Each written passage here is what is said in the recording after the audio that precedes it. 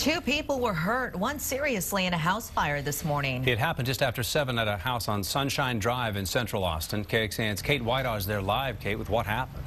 Well, good afternoon. Well, this investigation into how this fire started has now turned into the Austin Police Department being here on the scene and their organized crime unit looking into our narcotics search. Now, at this point, they haven't told us what exactly they found inside the home, but they said throughout the afternoon they're going to be bringing stuff out and we will end up finding out.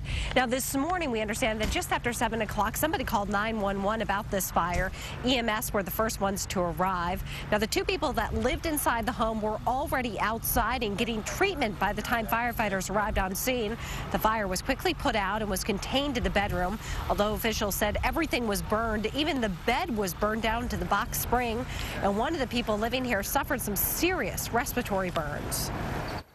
The individual uh, can inhale the extremely hot air from the fire, and more importantly, the, the gases that are contained in that hot air, the smoke, and all the all the very uh, very nasty things that are that are in a fire.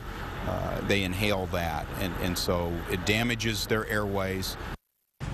And it was so bad that we understand that one of those people were taken to Brooke Army Medical Center, the second to Brackenridge. And once again, they are now conducting our narcotics investigation out here at this house in North Austin. And our Chris Sadeghi is also out here. He's going to be following this story for our news at 5 and 6 o'clock. And you can always keep posted at KXAN.com. We're live North Austin. Kate Weidaw, KXAN News.